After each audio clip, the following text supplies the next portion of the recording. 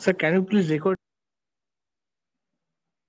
Okay, so can you uh, see this uh, particular screen? Experiment number one. Yes, yes, sir. Okay, so uh, the first experiment actually in this instruction sheet, I think, uh, do you have this instruction sheet with you? Here, both the first semester and second semester experiments are given. Do you have this?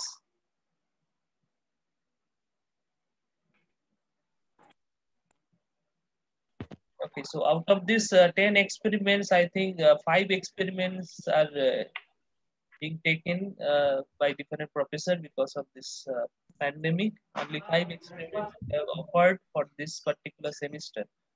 So uh, the recalibration of ammeter and voltmeter is the first experiment that I will discuss today. One more experiment I will try to cover that is study of AC DC machine that is experiment number eight and uh, i think uh, you have already uh, gone through other experiments like uh, uh, characteristics of AC series, parallel circuit, fluorescent lamp, fan, etc. Isn't it? Okay, so go to this particular uh, experiment, recalibration of ammeter and voltmeter. Now you know that already that ammeter and voltmeter is the meters or instrument, measuring instruments, which is used for our electrical measurements. Now ammeter is used uh, for current measurement and voltmeter is used for voltage measurement. Okay, now what do you mean by calibration? Now when we purchase a meter, maybe ammeter or voltmeter, already it is calibrated, isn't it? Sometimes the calibration certificates are also issued by the uh, with the product isn't it you তোমরা কি দেখেছ এরকম instrument কোনদিন কিনতে হয়েছে তোমাদের হ্যাঁ sir আমি কিনেছিলাম আমি সাউন্ড ডিবি মিটার কিনেছিলাম সেখানে ক্যালিব্রেশন সার্টিফিকেট নিতে হয়েছিল হ্যাঁ স্যার আমিও দেখি so that, that calibration meter when you are purchasing meter that calibration certificate is already there but sometimes with the time সময়ের সাথে সাথে অনেক সময় the calibration is gone calibration is destroyed নষ্ট হয়ে যায় বিভিন্ন কারণ হতে পারে okay suppose in our instrument room in our uh, laboratory we have a different a separate instrument room we have different instruments some instruments may be more than 100 years old okay তো সময়ের সাথে সাথে ইনস্ট্রুমেন্টগুলোর ক্যালিব্রেশনটা নষ্ট হয়ে যেতে পারে। সেই জন্য আমরা কি করি? সেটাকে আরেকবার ক্যালিব্রেট করি। Recalibrate okay but for you the process is not that methodical that means মানে এক্স্যাক্টলি যেভাবে করা হয়, কোনো একটা স্ট্যান্ডার্ড মিটারের সাথে সেভাবেই এখানে ডেমনস্ট্রেশন কীভাবে করতে হয় সেটা শেখানো হয়। Because uh, the standard meters are not with us because the standard meters are generally uh, the different uh, government organization like Indian standards, Bureau of Indian standards. Okay so আমরা যেটা এখানে করার চেষ্টা করব যে কোনো একটা যদি মিটার বা ইনস্ট্রুমেন্ট আমাদের কাছে থাকে তাহলে সেই ইনস্ট্রুমেন্টটাকে আমি কীভাবে রিক্যালিব্রেট করব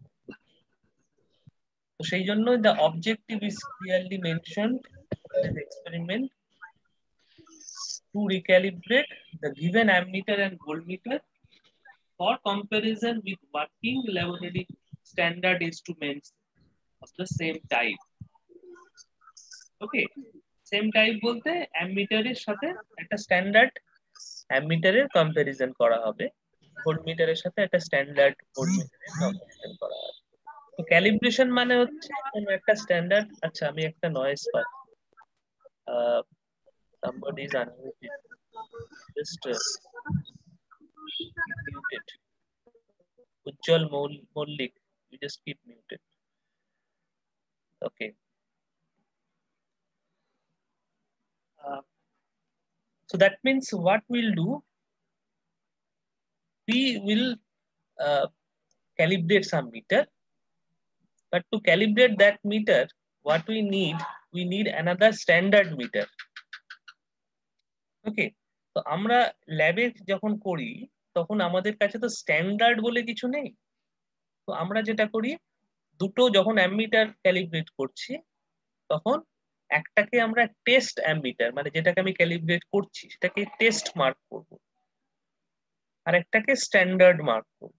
Another ammeter which will mark as a standard now with this uh, with respect to this standard ammeter we'll calibrate the test ammeter for voltmeter also we'll do the same thing বোঝা গেছে জিনিসটা মানে দুটো ammeter আমি instrument room থেকে নেব যার মধ্যে একটাকে টেস্ট মার্ক করব একটাকে স্ট্যান্ডার্ড মার্ক করব ওকে সাপোজ আমি একটা অ্যামিটার নিলাম টেস্ট অ্যামিটার নিলাম যেটার রেঞ্জ হচ্ছে জিরো টু ফাইভ অ্যাম্পিয়ার ঠিক আছে? জিরো টু ফাইভ অ্যাম্পিয়ার হচ্ছে আমি একটা টেস্ট অ্যামিটার নিলাম মানে ক্যালিব্রেশনগুলো ধরো এরকম আছে যে one two three four five এরকম। এবার ওয়ানের মধ্যে আবার টেন ডিভিশন আছে এরকম আছে।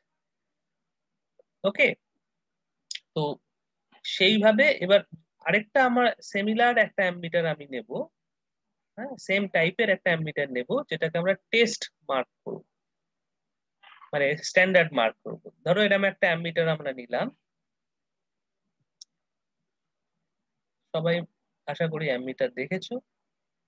ধরো এরকম একটা অ্যামিটার অ্যানালগ অ্যামিটার এখানে zero mark one two three four five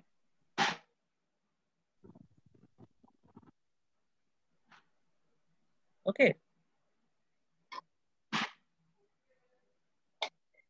এবার এই ওয়ানের মধ্যে আবার ধরো টেনটা ডিভিশন থাকতে পারে টুর মধ্যে থাকতে পারে থ্রির মধ্যে থাকতে পারে ফোর মধ্যে থাকতে পারে ফাইভ এর মধ্যে থাকতে পারে।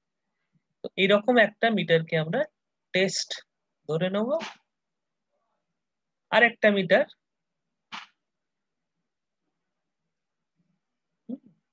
আর একটা মিটার সেম সেম সিমিলার টাইপের মিটার সেটাকে আমরা স্ট্যান্ডার্ড ধরে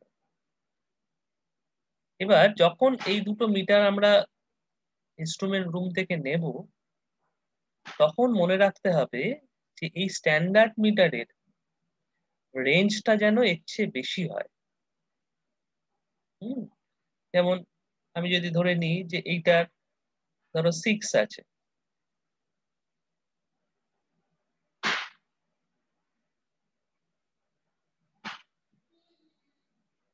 সিক্স অব্দি আছে।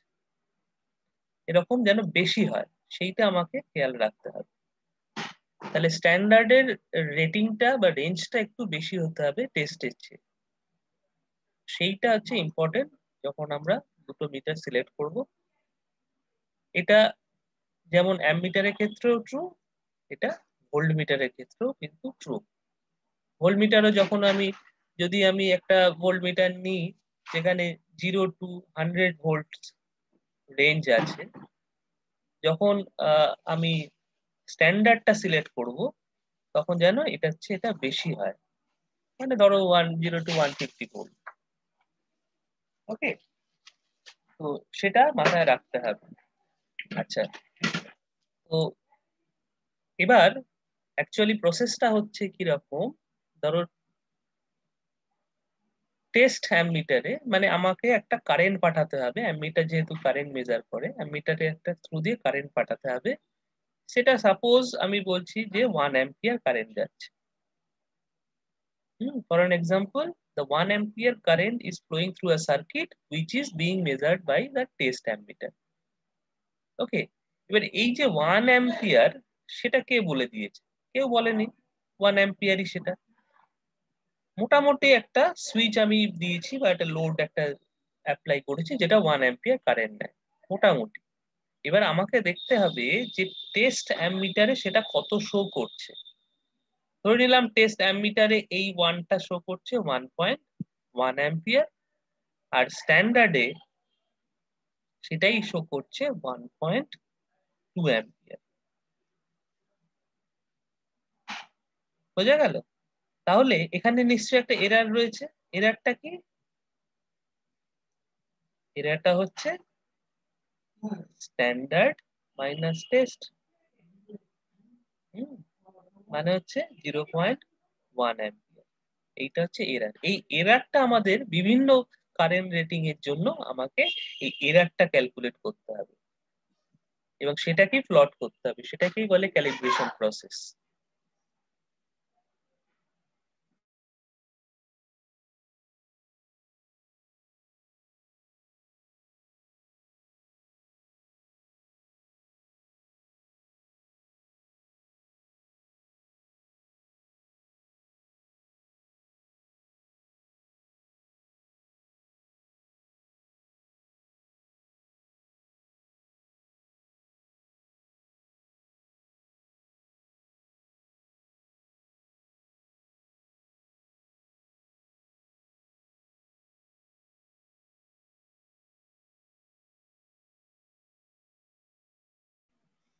Am I audible now?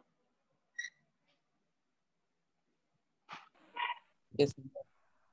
Yes, sir. শুনতে পাচ্ছ তোমরা পরিষ্কার? আহ, কেটে কেটে যাচ্ছে স্যার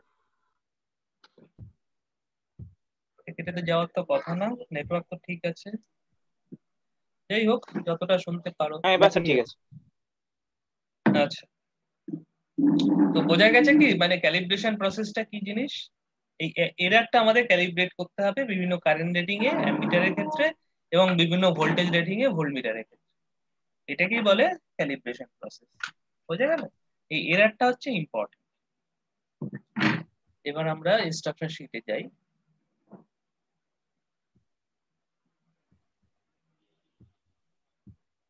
আচ্ছা এবার দেখো যে সার্কিটটা যেটা আছে অ্যামিটার ক্যালিব্রেশনের জন্য এটা বুঝতেই পারছ যে দুটো রেজিস্ট্যান্স আছে। রেজিস্ট্যান্স নিশ্চয়ই তোমরা দেখেছ। হ্যাঁ? বলতে পারবে এই যে দুটো রেজিস্ট্যান্স আছে, এই দুটো রেজিস্ট্যান্সের মধ্যে ডিফারেন্স কি?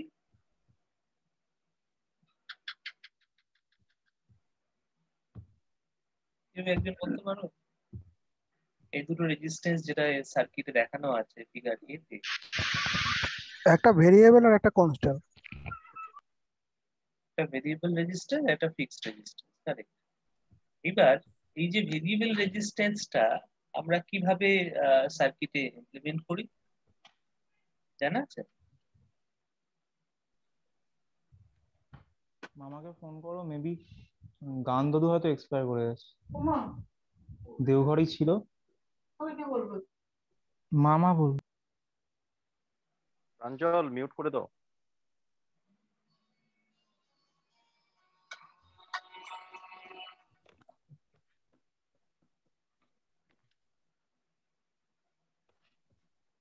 ওকে যেটা তোমরা দেখলে সার্কিটে সেটা হচ্ছে একটা ফিক্সড রেজিস্ট্যান্স আর একটা ভেরিয়েবল রেজিস্ট্যান্স ওকে তো ভেরিয়েবল রেজিস্ট্যান্সকে আমরা সার্কিটে যেভাবে ইমপ্লিমেন্ট করি, সেটাকে বলে রিওস্ট্যাট রিওস্ট্যাট দেখেছ তোমরা? এরকম একটা কয়েল থাকে একটা ফরমারের গায়ে। সেখানে যারা থ্রি এন্ড মানে এই যে ফিক্সড এন্ডগুলো, এটাকে বলে ফিক্সড এন্ড এই দুটো হচ্ছে ফিক্সড এন্ড আর এখানে একটা কানেক্টর থাকে, সেই কানেক্টর থেকে একটা এন্ড বেরোয়। সেটাকে বলে variable end every rheostat has three ends, three connections two fixed ends and one variable end এখানে আমরা যে সার্কিটটা দেখিয়েছি, সেখানে রিওস্ট্যাটের দুটো এন্ডকে আমরা ইউজ করছি। ফিক্সড এন্ড একটা যে কোনো একটা ফিক্সড এন্ড আর ভেরিয়েবল এন্ডটা এবার তার সাথে কি করছি? এই অ্যামমিটারে যে দুটো করে টার্মিনাল দেখালাম, সেগুলোকে এইভাবে কানেক্ট করছি। ধরো এটা টেস্ট এটা স্ট্যান্ডার্ড মানে পুরো কানেকশনটা এখানে সিরিজ কানেকশন আছে।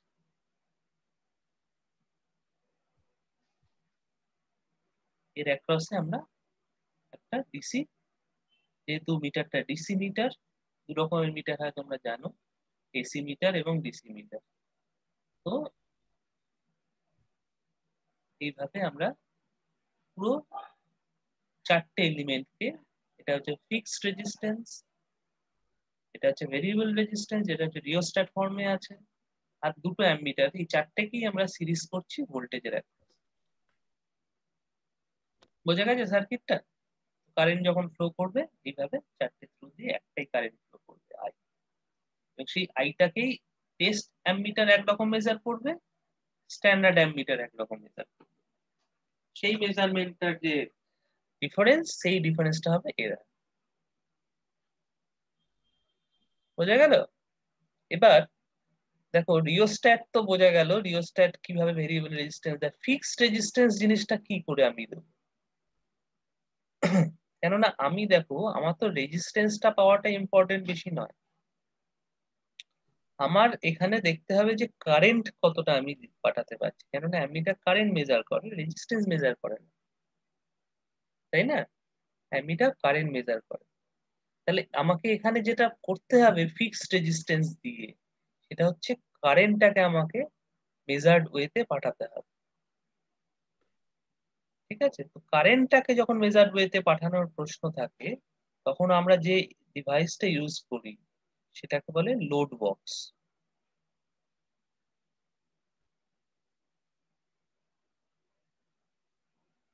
শুনেছো তোমরা লোড বক্স কথাটা আগে কোনোদিন?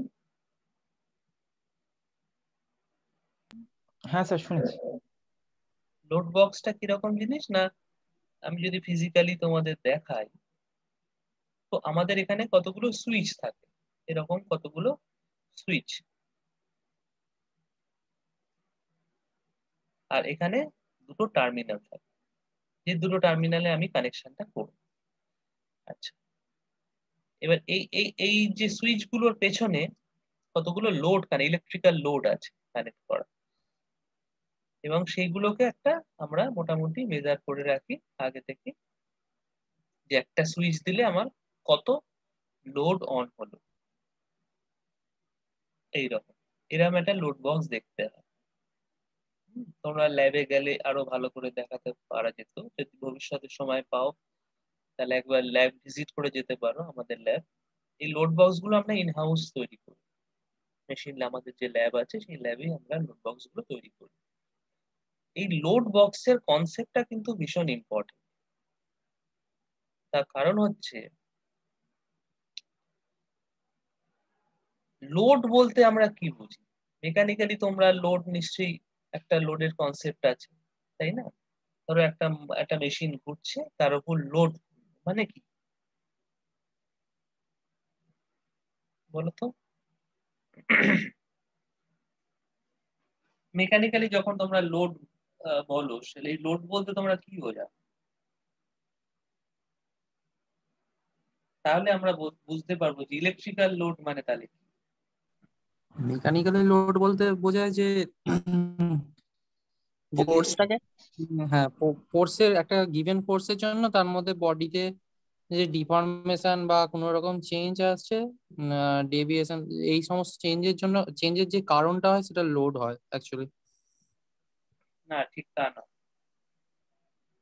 লোড হচ্ছে এমন কিছু যেটা পাওয়ার কনজিউম করে। এনার্জি কনজিউম করে। সেটা মেকানিক্যাল হতে পারে ইলেকট্রিক্যাল মেকানিক্যালও ঠিক তাই হ্যাঁ আমি যখন একটা মেশিন ঘোরাচ্ছি মেশিনটার ওপর যদি আমি কোনো কিছু কানেক্ট না করি মেশিনটার সাথে মেশিনটা যদি নিজে নিজেই ঘোরে, তার মানে হচ্ছে পাওয়ার কনজামশন খুব কম হচ্ছে। জন্য হচ্ছে পাওয়ার কনজামশনটা না ওর যে বিয়ারিং ফ্রিকশন লস আছে, যে উইন্ডেজ বিয়ারিং ফ্রিকশন লস আছে, বা মেকানিক্যাল লসেস আছে, সেইটুকুনি ক্যাটার করার জন্য যেটুকানি লস সেইটুকানি। আমরা যদি একটা ফ্যানের কথা ভাবি হ্যাঁ এই যে ফ্যানের উপর লোড কীভাবে তৈরি হচ্ছে? না, ফ্যান যখন ঘুরছে, তখন যে পরিমাণ এয়ারটাও নিচে থ্রাস্ট করছে, সেই এয়ারটা ওর অপোজিটে একটা টর্ক দিচ্ছে।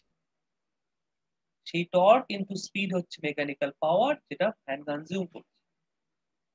এবার এই ফ্যানের লোডটাকে কি করে কমিয়ে দিতে পারি? না, ফ্যানের ব্লেডগুলোর অ্যাঙ্গেলগুলো যদি আমি চেঞ্জ করে দিই, ফ্যানের ব্লেডগুলো যদি সব ফ্ল্যাট করে দিই তাহলে কিন্তু ফ্যানের লোড কমে যাবে। সেক্ষেত্রে ফ্যানের ক্ষেত্রে লোডটা হবে তার নিজস্ব যে windage bearing friction loss mechanical loss সেইটুকানি okay তাহলে লোড হচ্ছে এমন কিছু যেটা মেশিনের বা যে কোনো ডিভাইসে পাওয়ার কনজামশনটাকে বাড়ায়। ইলেকট্রিক্যাল লোডও ঠিক তাই। ইলেকট্রিক্যাল লোড হচ্ছে এমন একটা কিছু যেটা ইলেকট্রিক্যাল এনার্জি কনজামশন বা পাওয়ার কনজামশনটাকে বাড়ায়। যেমন আমি একটা এক্সাম্পল দিই, যেটা খুব পার্টিনেন্ট হবে তোমাদের জন্য। যেহেতু তোমরা মোটামুটি একটু ইন্ডাস্ট্রিয়াল তোমাদের অনেকেরই এক্সপোজার থাকে। এই যে আমরা বাড়িতে যখন দেখি যে, বাড়িতে যখন কানেকশন আসে আর কোনো একটা ইউটিলিটি থেকে, দুটো তার আসে, তাই না?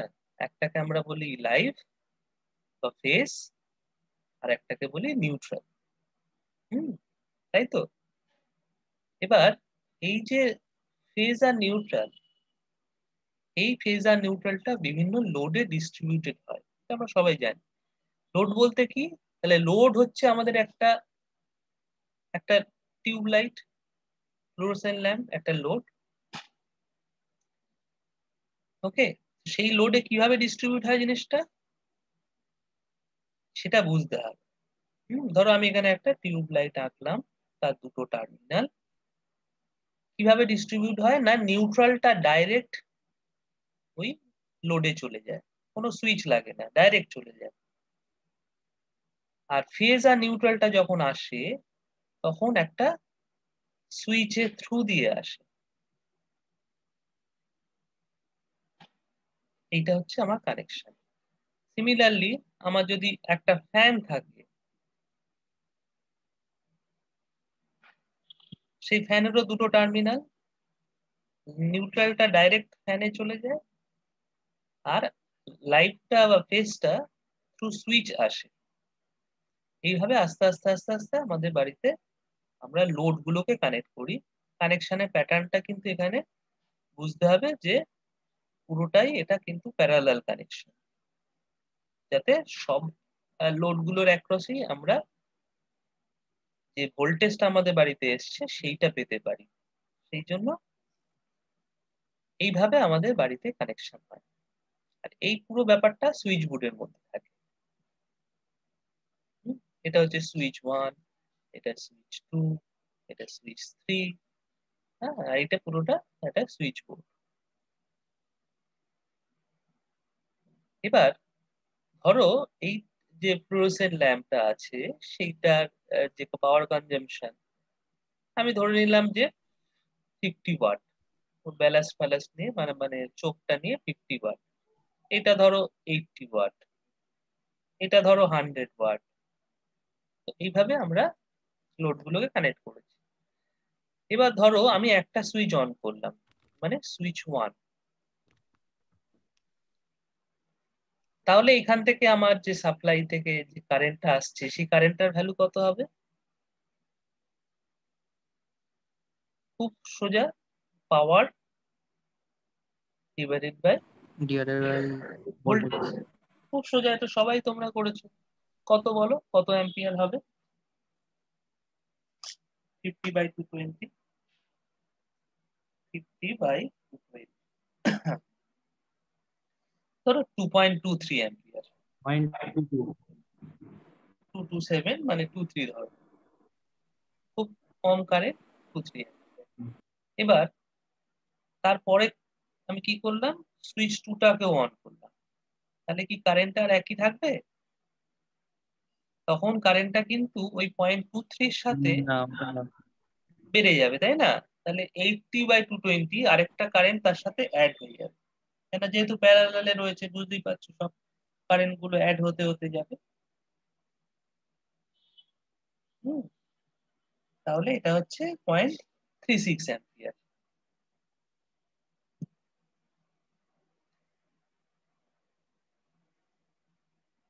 three six তাহলে টোটাল কারেন্ট কত হলো? টোটাল কারেন্ট হয়ে গেল point five nine five nine এইভাবে যত তুমি সুইচ দেবে, তাহলে তোমার কারেন্টটা বাড়ছে। অ্যাকচুয়ালি কি হচ্ছে, তুমি কিন্তু পাওয়ার এই এক একটা ওয়াট বাড়াচ্ছ মানে পাওয়ারটাকে বাড়াচ্ছ। তাহলে কারেন্টটা কেন বাড়ছে? কেন, তার কারণ হচ্ছে আমাদের ক্ষেত্রে যখন আমরা ডিস্ট্রিবিউশন কানেকশনগুলো করি, সেক্ষেত্রে ভোল্টেজটাকে ফিক্সড রাখি। তাহলে পাওয়ার বাড়া মানেই হচ্ছে, যেহেতু ভোল্টেজটা ফিক্সড মানে হচ্ছে কারেন্ট বাড়া। তাহলে ইলেকট্রিক্যালি আমরা লোড বলতে বোঝাই কারেন্ট এই কনসেপ্টটা কিন্তু ভীষণ ইম্পর্টেন্ট ইলেকট্রিক্যালি আমরা লোড বলতে বোঝাই কারেন্ট কোন লোড ইনক্রিজ করল মানে কারেন্ট ইনক্রিজ করল। বুঝতে পেরেছ? সিমিলারলি এই যে বাক্সটা আমি দেখিয়েছিলাম, এই বাক্সের মধ্যে ধরে নাও যে প্রত্যেকটা সুইচের পেছনেই এইরকম একটা করে ধরো ফিফটি ওয়াট বা এইটটি ওয়াট বা হান্ড্রেড ওয়াটের কিছু একটা লোড একটা ইলেকট্রিক্যাল কিছু লাগানো আছে। যখনই সুইচটা তুমি অন করলে, তখন এই সুইচটা অন অন হওয়া মানে কারেন্ট বেড়ে গেল। ঠিক আছে? তাহলে ওয়ান অ্যাম্পিয়ার সুইচটা যদি অন করলে, তখন ওয়ান ওয়ান অ্যাম্পিয়ার কারেন্ট গেল। যখন ওয়ান আর টু দুটো অন করলে, তাহলে থ্রি অ্যাম্পিয়ার যাবে। One two two five ampere যাবে। এইভাবে আস্তে আস্তে আস্তে কারেন্ট তুমি ভ্যারি করাতে পারো।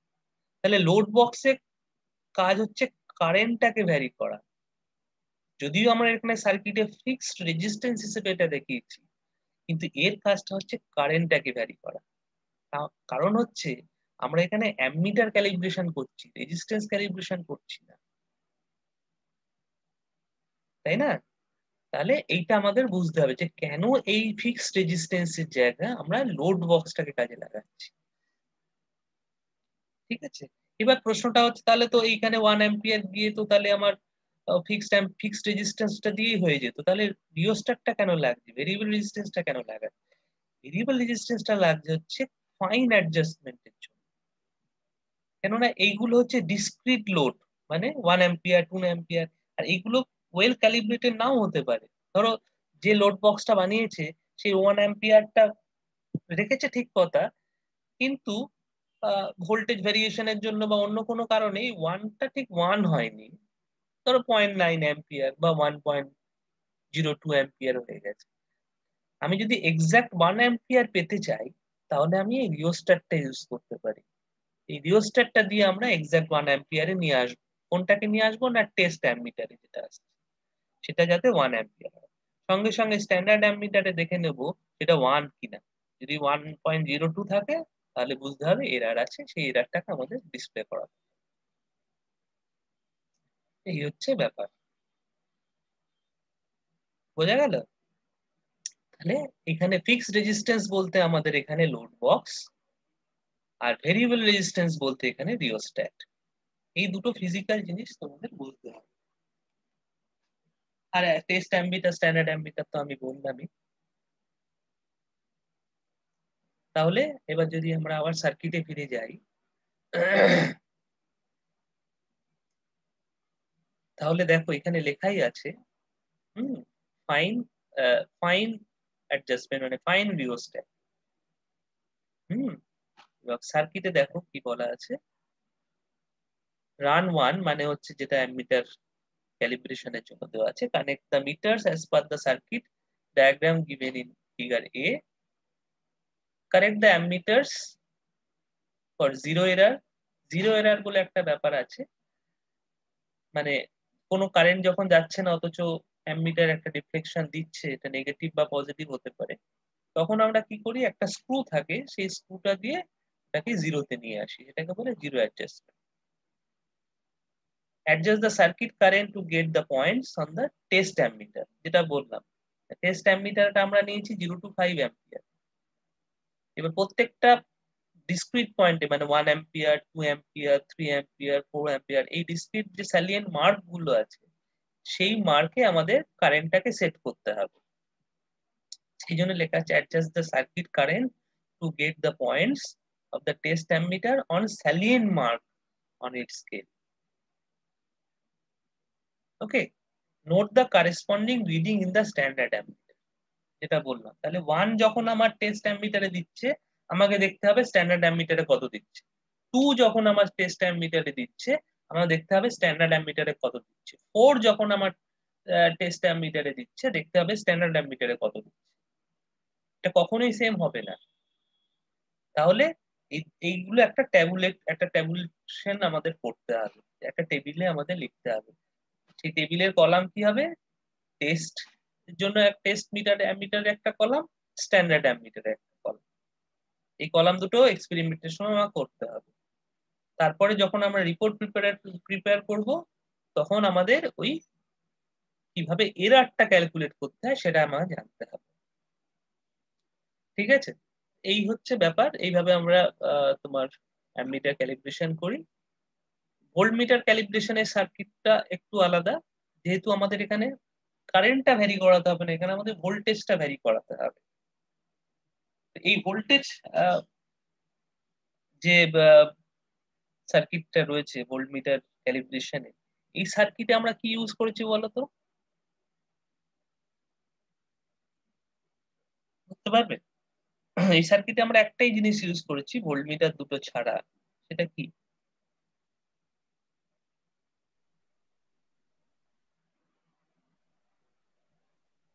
এনিওয়ান ভেরিয়েবল রেসিস্ট্যান্ট না ভেরিয়েবল রেজিস্ট্যান্স আমরা ইউজ করিনি। যেটা ইউজ করেছি সেটা হচ্ছে রিওস্ট্যাট এইখানে আমাদের বুঝতে হবে যে রিওস্ট্যাটটা হচ্ছে একটা ডিভাইস হুম? যেটা আমি দেখালাম জিনিসটা কীরকম দেখতে। এই এই ডিভাইসটা হচ্ছে রিওস্ট্যাট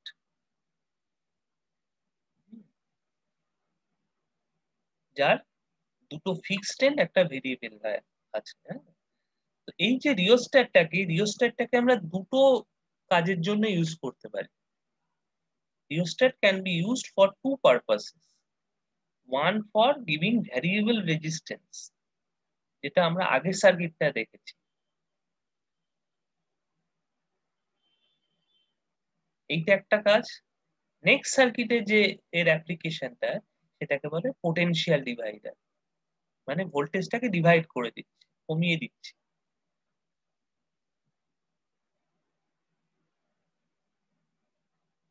বুঝতে পেরেছ? যখন ভেরিয়েবল রেজিস্ট্যান্স হিসেবে ইউজ হবে, তখন যে কোনো একটা ফিক্সড এন্ড আর ভেরিয়েবল এন্ডটা ইউজ হবে। যখন পোটেনশিয়াল ডিভাইডার হিসেবে ইউজ হবে, তখন দুটো ফিক্সড এন্ড আর ভেরিয়েবল এন্ডটা ইউজ হবে। এটা মাথায় রাখতে হবে। যখন পোটেনশিয়াল ডিভাইডার হিসেবে ইউজ হবে, তখন all the three ends must be use সেই জন্য কি হয়েছে না, এই যে ফিক্সড এন্ড দুটো,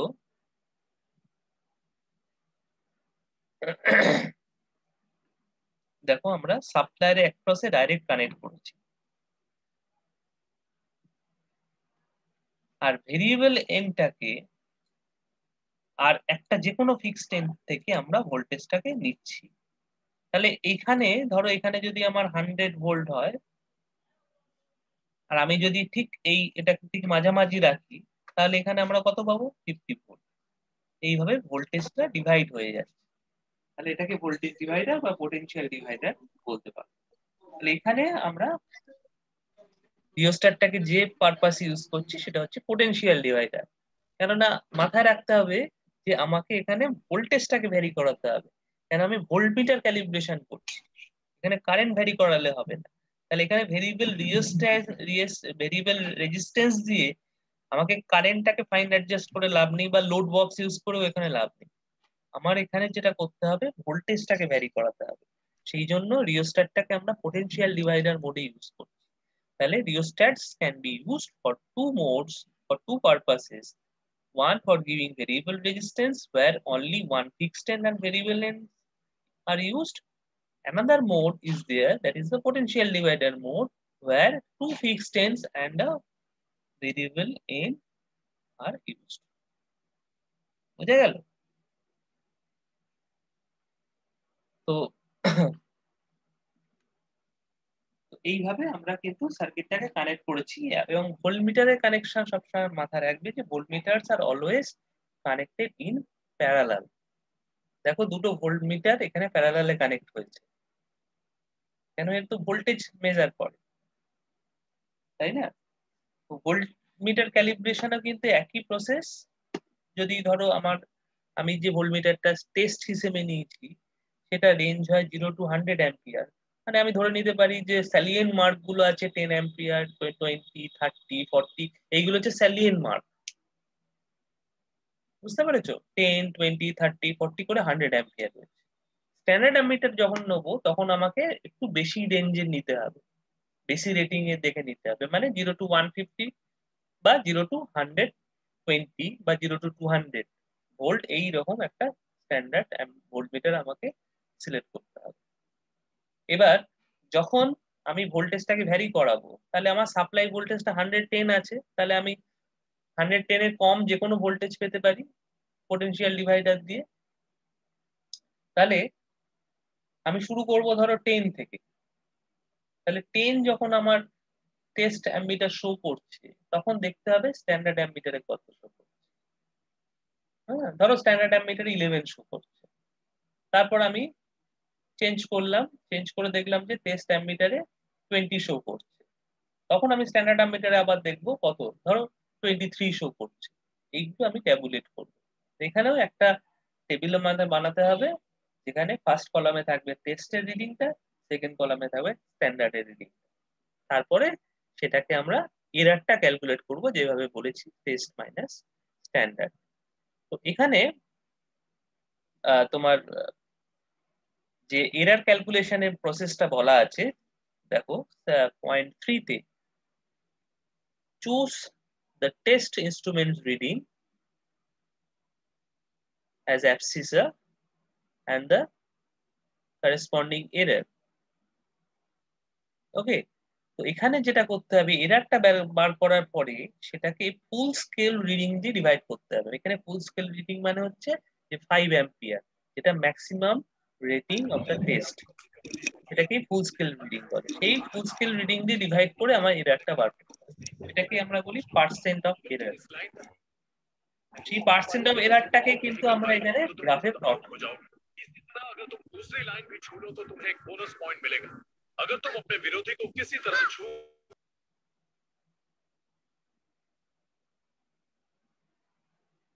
বারবার বলছি তোমরা যদি খুব প্রয়োজন না থাকে মিউট আনমিউট করো না এটা ক্লাসে ডিস্টারবেন্স তৈরি হচ্ছে একটু খেয়াল রাখো ডিভাইসটাতে কোথাও হাত পড়ে যাচ্ছে কিনা you should be attentive class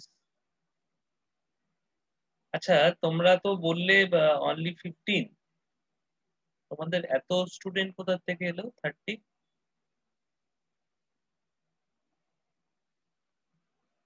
না স্যার টোটাল আমাদের তিরিশ জনই আছে। টোটাল আমাদের তিরিশ জন। হ্যাঁ তাহলে তোমরা বললে যে বারোটা তেরো জন। টোটাল কি তিরিশ জন তোমরা?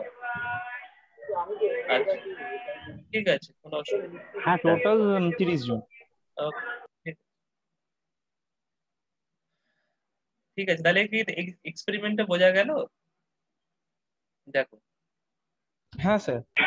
কালকে যদি তোমাদের বলি যে আমাদের ডিপার্টমেন্ট খুলে গেছে এরকম একটা এক্সপেরিমেন্ট করতে হবে তোমরা সবাই কি পারবে? সেই জায়গাটা তৈরি হয়েছে কি? হ্যাঁ স্যার আপনি একটু দেখিয়ে দিলে নিশ্চয়ই পারব। এই তো দেখি কনসেপ্টটা বুঝে গেছি। হ্যাঁ কনসেপ্টটা বুঝে গেছো জিনিসটা ফিজিক্যালি অনেকটা দেখিয়ে দিতে কতটা দেখানো সম্ভব এই অনলাইন মোডে ততটা চেষ্টা করলাম। স্যার একটা কথা স্যার জিজ্ঞেস হ্যাঁ অবশ্যই। করছি যখন ক্যালিব্রেট করা হবে টেস্ট পার্টটাকে তখন ওখানে তো বেসিক্যালি স্প্রিং এখন একটা ইয়ে থাকবে স্ক্রু থাকবে যেটা দিয়ে অ্যাডজাস্ট করতে হবে। না না সেটা এটা টেস্টের সঙ্গে স্ট্যান্ডার্ডটাকে অ্যাডজাস্ট করতে না না না না অ্যাডজাস্ট করতে হবে না। হ্যাঁ। কিছু সেই সেই না। না এটা বোঝার চেষ্টা করো। আমরা কিন্তু কোনো অ্যাডজাস্টমেন্টে যাচ্ছি না। আমরা যেটা এখানে করছি একটা কার্ভ ড্র করব জাস্ট আমাদের এখানে যে আউটপুটটা সেই আউটপুটটা হবে একটা কার্ভ সেই কার্ভটার নাম হচ্ছে ক্যালিব্রেশন কার্ভ আমরা কোনো অ্যাডজাস্টমেন্ট করব না স্ক্রু দিয়ে। স্ক্রু দিয়ে অ্যাডজাস্টমেন্ট করব কখন? শুরুতে জিরো অ্যাডজাস্টমেন্টটা সেটা কিন্তু অ্যাবসলিউট অ্যাডজাস্টমেন্ট বলে। মানে এইরকম জায়গায় একটা স্ক্রু থাকে এরকম জায়গায় একটা স্ক্রু থাকে সেই স্ক্রুটাকে আমরা স্ক্রু ড্রাইভার দিয়ে ঘুরে এই জিরো অ্যাডজাস্টমেন্টটা করি যে শুরুতে যখন কোনো কারেন্ট যাচ্ছে না বা কোনো ভোল্টেজ নেই তখন যাতে সেটা জিরো শো করে। সেটাকে বলে জিরো অ্যাডজাস্টমেন্ট এই শুরুতেই আমরা এই অ্যাডজাস্টমেন্টটা করি। বাকি যখন এটা স্ট্যান্ডার্ড থেকে ডেভিয়েট করবে আমরা কিন্তু কোনো চেঞ্জ করব না। আমরা যেটা করব যে টেস্টের এই রিডিং এর জন্য স্ট্যান্ডার্ডে এই রিডিং কত আসছে সেই কার্ভটা আমরা জানব। তাহলে ভবিষ্যতে ওই কার্ডটা অনুযায়ী আচ্ছা আচ্ছা ঠিক আছে স্যার। ধরে ধরে আমরা অ্যাকচুয়াল রিডিংটা পেতে পারব। আমরা শুধু কার্ভটা করব তাহলে ওইটা ক্যালিব্রেশন কার্ভ বল বোঝা গেল? ক্যালিব্রেশন সার্টিফিকেট হ্যাঁ। কার্ড থাকতো একটা ওইটা হলো যে হ্যাঁ, ওই হ্যাঁ। কার্ডটা দেখাতে এইটা এবার এসেছিল ওটা তারপরে আমরা তো আমরা তো এটা ম্যানুফ্যাকচারার নয়। মানে আমরা তো ভেতরে কিছু জানি না। ধরে নিচ্ছি আমরা ভেতরে কিছু জানি না। ভেতরে কোথায় খুলবো কি করে ফেলব তার ঠিক নেই। তাহলে আমরা এখানে শুধু ক্যালিব্রেশন কার্ভটা আঁকতে পারি। এবং সেটাই হচ্ছে output of this or objective of this particular experiment that's আচ্ছা স্যার। বোঝা গেছে? আর হ্যাঁ, কারও হ্যাঁ, প্রশ্ন আছে বল? স্যার এই যে স্ট্যান্ডার্ড যেটা রয়েছে টেস্ট একটা এমিটার স্ট্যান্ডার্ড স্ট্যান্ডার্ড এমিটারের কি ক্যালিব্রেশন হয়? আমি কি করে বুঝব যে হয়তো এটাও হতে পারে যে যেটা আমি টেস্ট করছি সেটা আমার সঠিক রিডিং দিচ্ছে আর যেটা স্ট্যান্ডার্ড আছে সেটা মানে কীভাবে বুঝব যে স্ট্যান্ডার্ডটা জিরো এরর আছে? এর জন্য কি স্ট্যান্ডার্ডটাকেও কোনো ক্যালি শোনো এখানে আমরা তোমাদের শেখাচ্ছি কি করে ক্যালিব্রেশন করতে হয়। এখানে স্ট্যান্ডার্ডটা অত টেস্টের চেয়েও ভুল। কোনো একটা অ্যাবসলিউট স্ট্যান্ডার্ড যেটা যেটা ব্যুরো অফ ইন্ডিয়ান স্ট্যান্ডার্ডের কাছে রাখা থাকে। সেই তার রেসপেক্টে হয়তো স্ট্যান্ডার্ডটা টেস্টের চেয়েও বেশি এরার দিতে পারে। কিন্তু সেটা আমাদের এখানে বিবেচ্য নয়।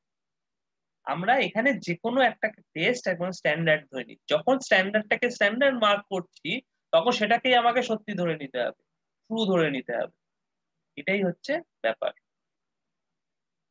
বুঝতে পেরেছ? ইটস ফর এক্সপেরিমেন্ট হ্যাঁ ফর দিস এক্সপেরিমেন্ট কীভাবে ক্যালিব্রেশন করতে হয়। হ্যাঁ। আমাদের আমরা তোমাদের কোনো কিছুই শেখাবো না যে মানে শেখাই না যেটা একদম রিয়েল লাইফে গিয়ে এক্সপেরিমেন্ট মানে তোমাদের করতে হচ্ছে। কি করে করতে হয় সেটা শেখাই। বুঝতে পারছ? আমাদের ল্যাবরেটরিতে যেটা হয় যে কীভাবে জিনিসটা করবে সেটা শেখানো হয়। যাতে তোমরা কোনোদিন যদি এরকম একটা সিচুয়েশনে গিয়ে পড়ো তখন তোমরা এই ক্যালিব্রেশনটা করতে পারো।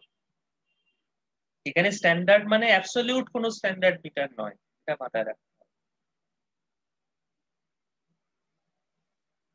ওকে হ্যাঁ কেউ কিছু বললে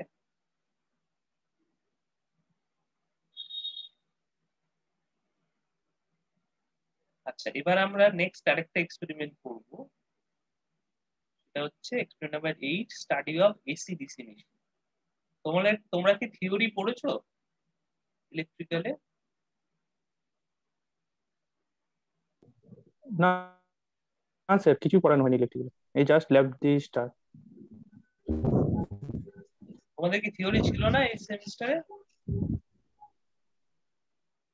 না স্যার আমাদের সেই ল্যাবটাই ছিল ল্যাবটাই আজকে হচ্ছে। আহ, গতকাল হয়েছে আর আজকে হচ্ছে।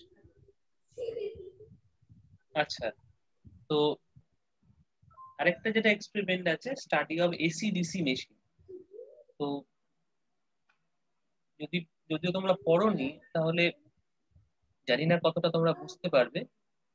এখানে যেটা বলা আছে যে, আমাদের অ্যাকচুয়ালি এক্সপেরিমেন্ট যেটা করানো হয়, আমাদের টেবিলের ওপর একটা কাট আউট মডেল পড়ে থাকে, যেটা একটা ডিসি মেশিনের আর একটা এসি মেশিন এসি মেশিন বলতে আমরা এখানে স্কুরেল কেজ ইন্ডাকশন মোটরটাকে নিয়ে যাই ডিফারেন্ট এসি মেশিন হতে পারে। তার মধ্যে সবচেয়ে পপুলার যে এসি মেশিন যেটা ইউজ হয় ইন্ডাস্ট্রিতে সেটা হচ্ছে squirrel cage squirrel cage induction motor বা এসকিউআইএম এটা ইউজ হয় ইন্ডাস্ট্রিতে ওকে যেমন ধরো তোমাদের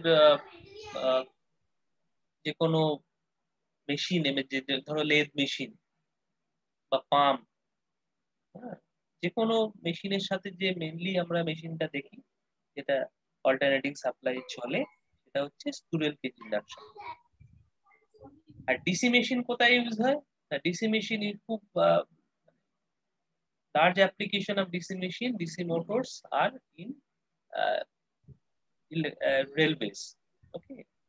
তো ট্রেনে এই যে আমরা ইএমইউ ট্রেনগুলো দেখি বা মেট্রো রেলওয়ে যেগুলো দেখি সেখানে আমরা ডিসি মোটর ইউজ হয় ডিসি মেশিন মানে কিন্তু শুধু মোটর নয়। মেশিন মানে জানবে যে জেনারেটর হতে পারে মোটরও হতে পারে। ঠিক আছে, আমরা কীভাবে ইউজ করছি? তার উপর। ডিসি মেশিন মোটর হিসেবে কিন্তু ইউজ হয় জেনারেটর হিসেবে ডিসি মেশিনের ইউজটা অনেক কম। ওকে সিমিলারলি ইন্ডাকশন এই যে তোমার স্কুরিয়াল কেজ ইন্ডাকশন মোটর যেটা বলছি, এটা মোটর হিসেবে যতটা ইউজ হয় জেনারেটর হিসেবে ইউজটা কম হয়। জেনারেটর হিসেবে ইউজ হয় স্কুরিয়াল কেজ ইন্ডাকশন মোটর কিন্তু তার অ্যাপ্লিকেশনটা হয় উইন্ড টারবাইন নর্মালি আমরা যে জেনারেটরগুলো দেখি, সেগুলো সিঙ্ক্রোনাস জেনারেটর সেটা এই ইন্ডাকশন জেনারেটর নয়। তো যাই হোক, যেটা তোমাদের এক্সপেরিমেন্টে করতে হয়, সেটা হচ্ছে ওই যে কাট আউট মডেলটা আমি একটা দেখাই তোমাদের, একটা জাস্ট মডেল কীরকম জিনিসটা পড়ে থাকে টেবিলের উপরে?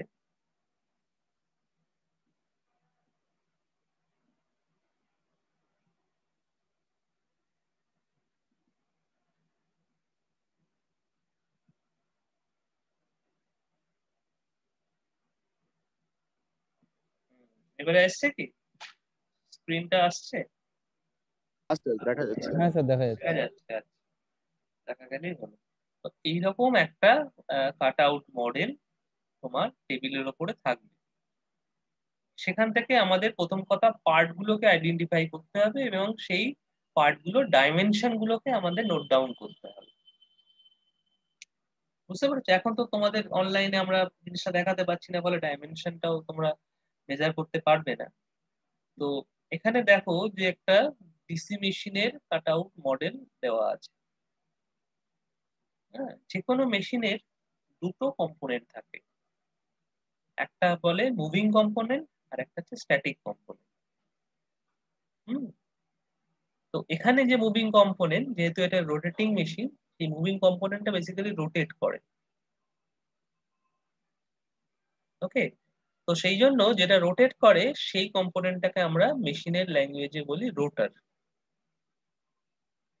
আর যে কম্পোনেন্টটা স্ট্যাটিক থাকে সেটাকে বলি স্টেটার তাহলে মেশিনের দুটো পার্ট একটাকে বলে রোটার একটাকে বলে স্টেটার বোঝা গেল? এবার, এখানে দেখো যে রোটারে একটা নাম লেখা আছে, সেটাকে বলছি আর্মেচার কেন আর্মেচার বলছি? তার কারণ হচ্ছে এই রোটারের যে কন্ডাক্টরগুলো রয়েছে সেগুলোই মেন কারেন্টটাকে ক্যারি করে।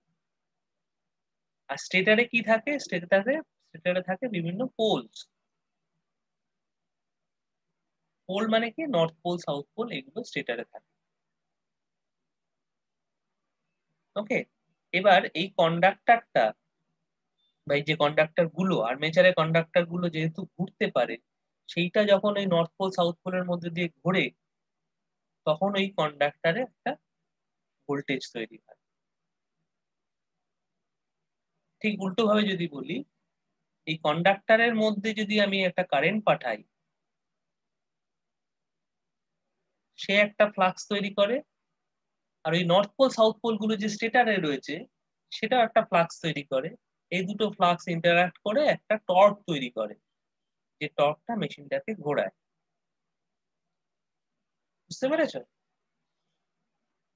তো এই যে দেখো একটা জিনিস যখন আমি এটাকে টর্কটা কি ইএমএফ টা তৈরি করছে? না না না আমি বলছি এই যে এটা যে রোটারটা রয়েছে মাঝখানে তার মধ্যে তো কারেন্ট পাঠাতে হবে? কেননা মোটর হিসেবে যখন ইউজ করছি আমাদের আউটপুটটা হচ্ছে টর্ক তাই তো? যে কোনো মোটরের আউটপুট হচ্ছে টর্ক বা স্পিড মেকানিক্যাল আউটপুট কেননা মোটরের আউটপুটটা হচ্ছে মেকানিক্যাল সিমিলারলি জেনারেটর হিসেবে যখন ইউজ হবে, তখন তার আউটপুটটা হচ্ছে ইলেকট্রিক্যাল ইনপুটটা হচ্ছে মেকানিক্যাল মানে ইনপুটে আমাদের একটা প্রাইম মুভার দিতে হবে, সেটা ঘোরালে তবে আমরা ইলেকট্রিক্যাল এনার্জি আউটপুট পাবো। মোটরের ক্ষেত্রে ঠিক উল্টোটা। মোটরের ক্ষেত্রে আমরা ইলেকট্রিক্যাল আউটপুট দেবো ইনপুট দেবো আউটপুট হিসেবে একটা মেকানিক্যাল আউটপুট পাবো। তাহলে ইলেকট্রিক্যাল ইনপুটটা কীভাবে দেব? কেননা আমাকে এখানে কারেন্ট পাঠাতে হবে। কারেন্ট কোথায় পাঠাতে হবে? না কারেন্টটা আর্মেচারে পাঠাতে আর্মেচারটা কোথায় আছে? না আর্মেচারটা আছে রোটারে তাহলে রোটারে কারেন্ট পাঠাতে হবে, যেটা ঘুরবে সেখানে আমি কারেন্টটাকে পাঠাবো কি করে? কোনো ফিক্স তার যদি আমি কানেক্ট করে দিই, তাহলে তো সেটা ঘোরার সময় জড়িয়ে যাবে। তো এই যে দুটোর স্ট্যাটিক আর রোটেটিং ইন্টারফেসটা তৈরি করতে হয়, তার জন্য দুটো অ্যারেঞ্জমেন্ট আছে।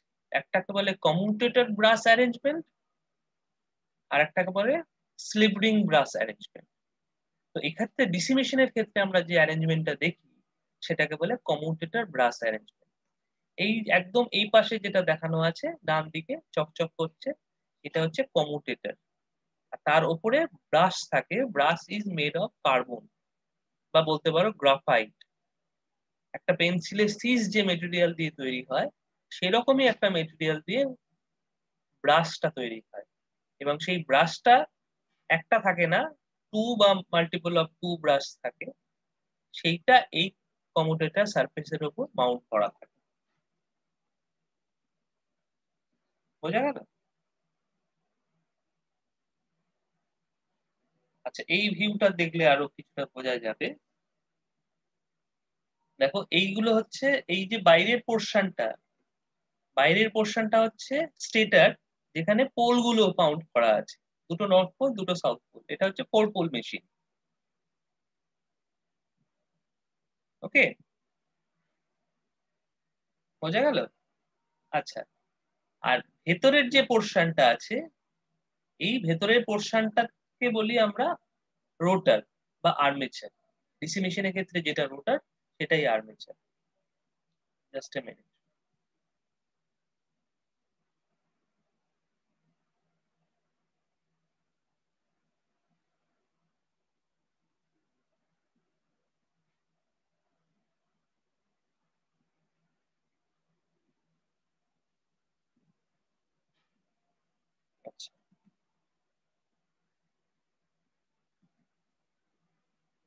দেখতে পাচ্ছ সবাই?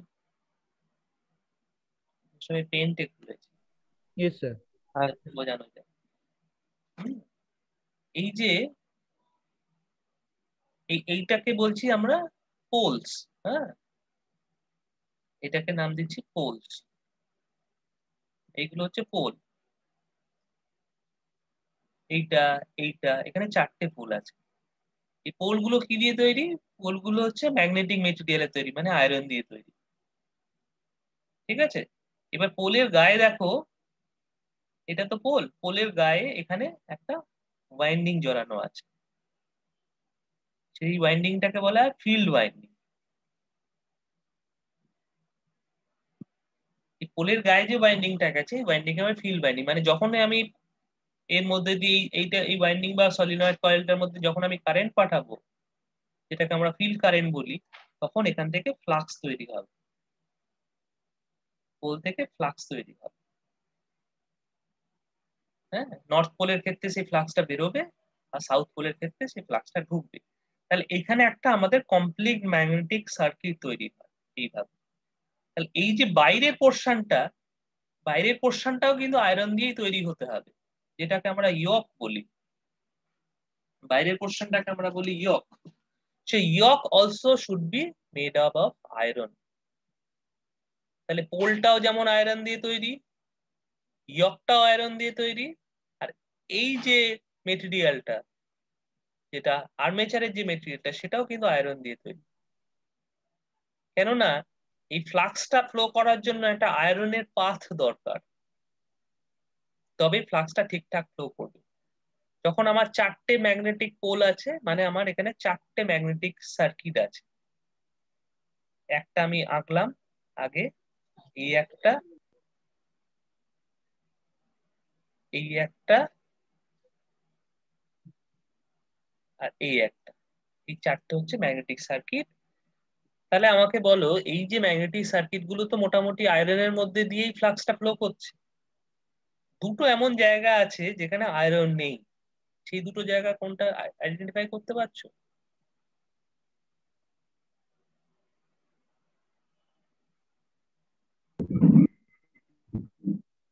ইন্টারপোল থাকা না না এন্টারে নেই।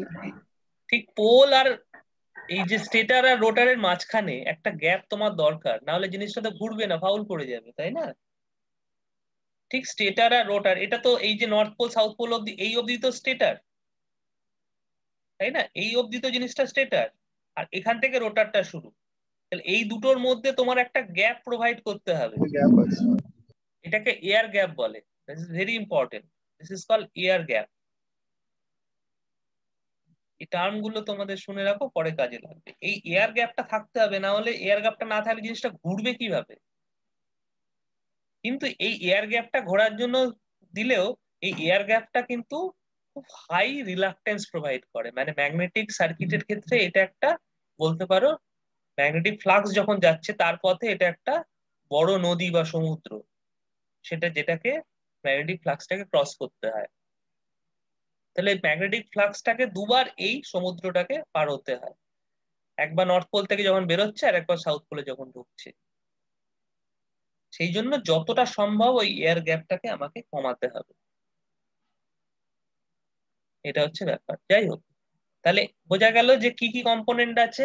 প্রথম মেজর কম্পোনেন্ট হচ্ছে স্টেটার আর রোটার তাহলে বাইরের দিকে আছে স্টেটার মাঝখানে আছে রোটার স্টেটারে কি থাকে? স্টেটারে থাকে ফিল্ড বা পোলস ওকে ফিল্ডের গায়ে যে ওয়াইন্ডিংটা থাকে, সেটাকে বলে ফিল্ড ওয়াইন্ডিং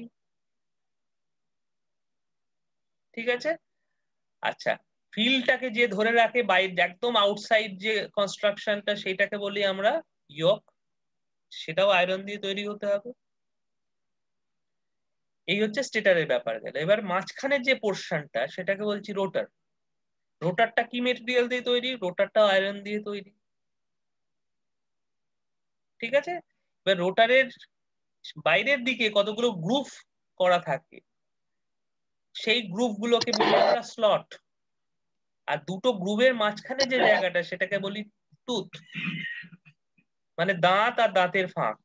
দাঁতের ফাঁকটা হচ্ছে স্লট আর দাঁতটা হচ্ছে টুথ তাহলে এইটা হচ্ছে টুথ আর এই মাঝখানে টুথের মাঝখানে যেটা আছে, সেটা হচ্ছে স্লট এই স্লটের মধ্যে দিয়ে আর্মেচার কন্ডাক্টরগুলো পাস করে। এইভাবে গোল গোল চারটে করে দেখানো আছে, এগুলো হচ্ছে আর্মেচার কন্ডাক্টর আর্মেচার কন্ডাক্টরগুলো পাস করে। বোঝা গেল? এবার এটা তো ক্রস সেকশনাল ভিউ যখন আমরা এটাকে অন্য একটা ভিউ থেকে দেখি জাস্ট এ মিনিট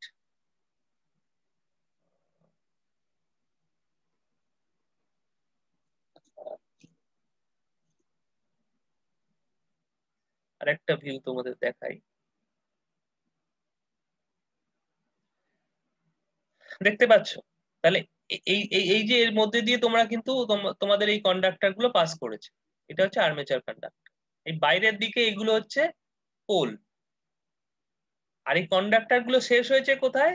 এই কমিউটেটর সার্ফেস এটাকে বলে কমিউটেটর এই দেখো, দেখানো আছে। দিস ইজ দ্য কমিউটেটর এই কমিউটেটরের ওপর তোমার কার্বন ব্রাশ এই যে দেখো, একটা কার্বন ব্রাশ লাগানো আছে। যদিও এটা ব্ল্যাক ব্ল্যাক কিন্তু ব্ল্যাকের চারিদিকে একটা মানে মানে হোল্ডার আছে। সেই হোল্ডারটা এখানে দেখা যাচ্ছে। ব্ল্যাক পোর্শনটা দেখা যাচ্ছে না। ওকে তো এইরকম ভাবে জিনিসটা কিন্তু রয়েছে।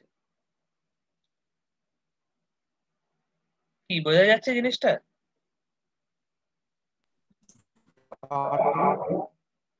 ব্রাশটা কি করে স্যার হ্যাঁ ব্রাশটা কি করে? ব্রাশটা হচ্ছে প্রথম কথা তুমি যখন এখানে আর্মেচারের থ্রু দিয়ে কারেন্টটা পাঠাবে, কীভাবে পাঠাবে বলো? তোমার তো ধরো একটা বোর্ডে তোমার পাওয়ার সাপ্লাই আছে হ্যাঁ? একটা বোর্ডে ধরো তোমার পাওয়ার সাপ্লাই আছে প্লাস মাইনাস এবার সেটাকে তুমি এই কারেন্ট এর মধ্যে দিয়ে পাঠাবে কীভাবে? পাঠাতে তো হবে। তা সেটা আমরা কি করছি? এই কার্বন ব্রাশটা ফিক্সড আছে, আর এই কমোডেটারটা ঘুরছে।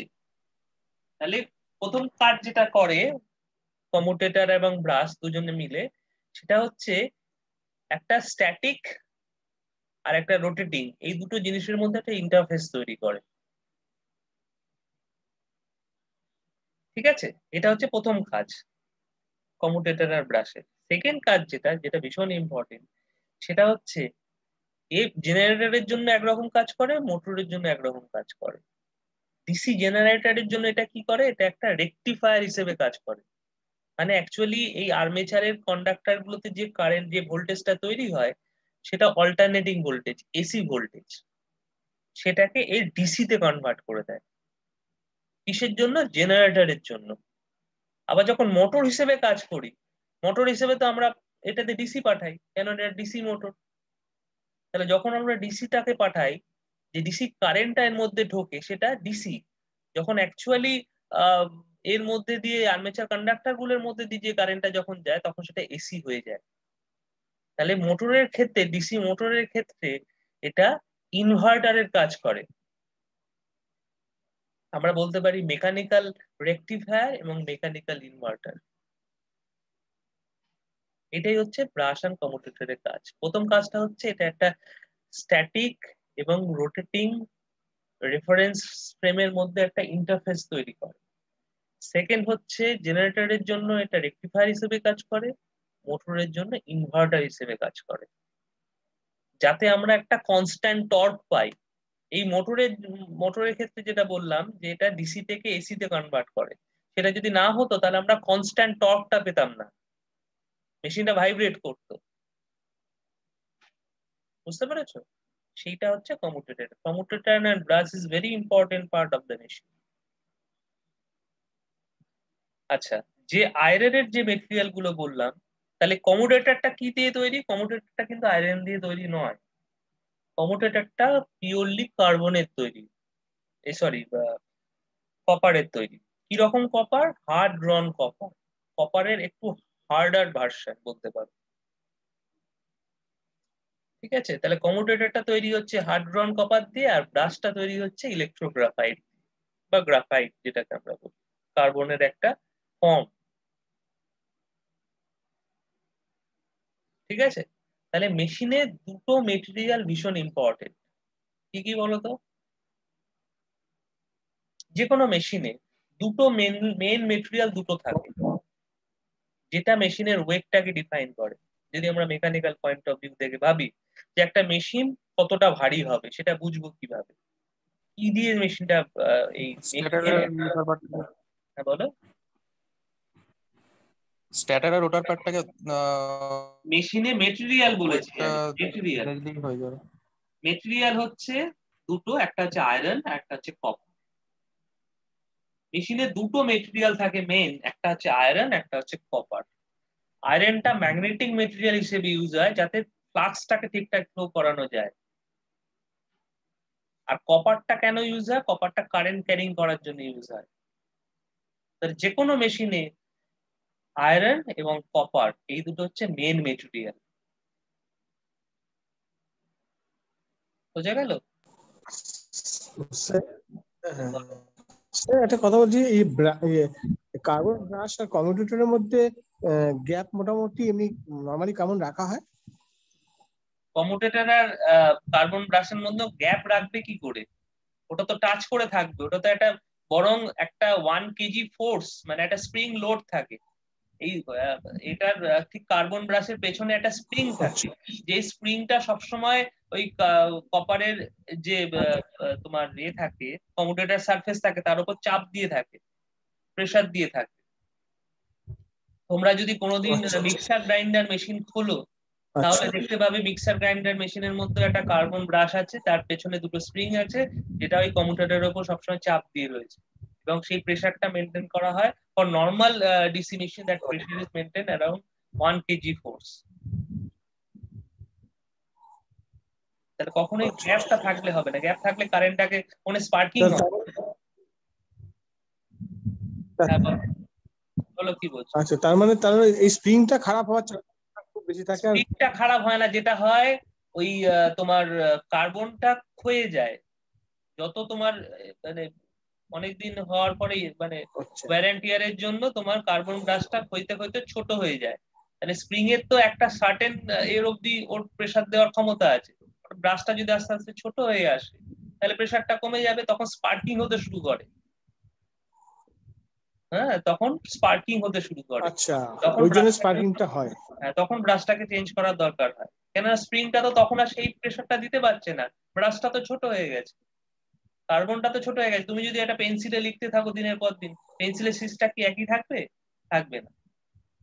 সেরকম এখানেও ঠিক তাই। ব্রাশটাকে আমাদের এটাই হচ্ছে ডিসি আচ্ছা। মেশিনের একটা ড্রব্যাক ডিসি মেশিনের একটা মেনটেনেন্স দরকার হয়।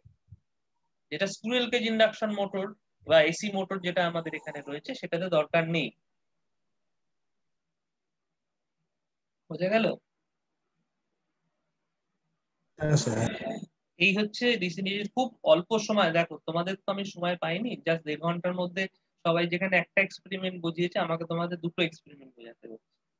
সুতরাং সময় খুব কম আর তোমরা যেহেতু থিওরিটার একদমই তোমাদের থিওরি নলেজটা নেই, সুতরাং এর চেয়ে বেশি আমি আর কিছু পারছি না করতে। নেক্সট হচ্ছে আচ্ছা শেয়ারটা স্টপ করলাম।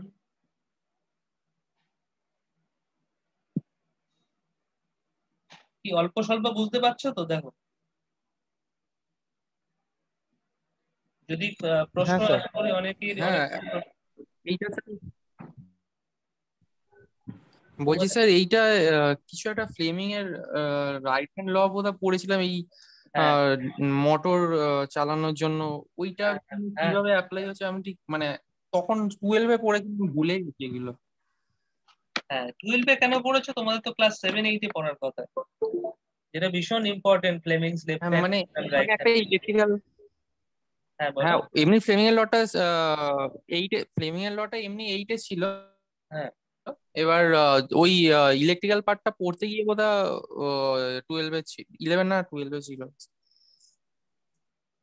হ্যাঁ এটা কিন্তু তোমার ওই যে লটা তোমরা বলছো সেটা ভীষণ ইম্পর্টেন্ট ল একটু ওয়েট করো জাস্ট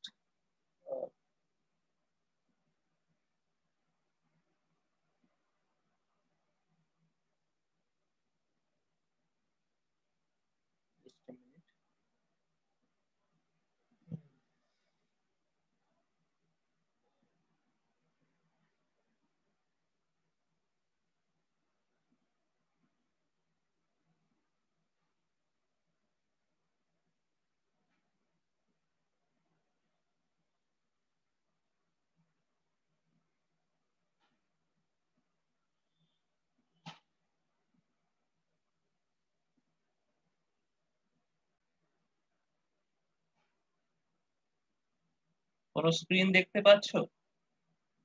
না পাচ্ছ না? হ্যাঁ হ্যাঁ স্যার স্যার দেখতে পাচ্ছি। যদি এইটা আমরা থিওরিটিক্যাল ক্লাসে ডিসকাশন করি জাস্ট তোমরা বললে বলে তাই আমি জাস্ট দেখাচ্ছি। দেখো এখানে ডেফিনেশনটা লেখা আছে ইলেকট্রিক্যাল মেশিন এর। Electrical machine is an electromechanical device মানে এখানে অ্যাকচুয়ালি একটা এনার্জি কনভার্সন ইনভলভ আছে। যেটা প্রথমেই বলেছি জেনারেটর আর মোটর মানে আইদার ইলেকট্রিক্যাল এনার্জি থেকে মেকানিক্যাল এনার্জি হবে বা মেকানিক্যাল এনার্জি থেকে ইলেকট্রিক্যাল এনার্জি হবে। কিন্তু যেটা ভীষণ ইম্পর্টেন্ট সেটা হচ্ছে এই যে এনার্জি কনভার্সনটা হচ্ছে, এখানে কিন্তু ম্যাগনেটিক ফিল্ডকে ইনভলভ থাকতে হবে। অন্য কোনো ফিল্ড নয়।